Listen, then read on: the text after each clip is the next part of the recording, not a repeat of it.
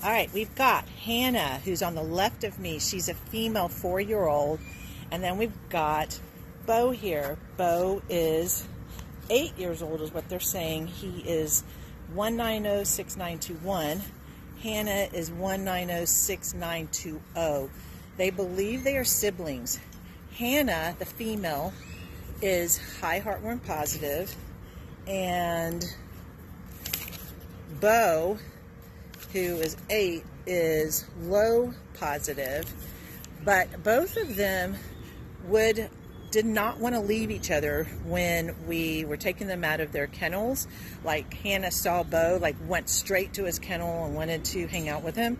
Um, so I pulled her out so we could get Beau, and Beau saw her and was like started crying and crying, wanting to get to her. So they definitely have some type of knowing of each other, whether it's siblings, whether they um, were neighbors. I, I'm not really sure.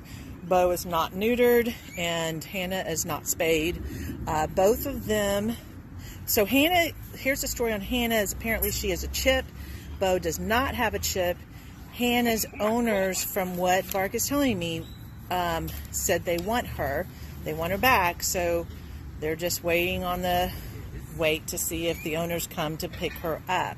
Um, both of these were Melrose pickup dogs from Melrose Park gorgeous, gorgeous Akitas. I mean, you can see they really like each other. They definitely have a bond with each other.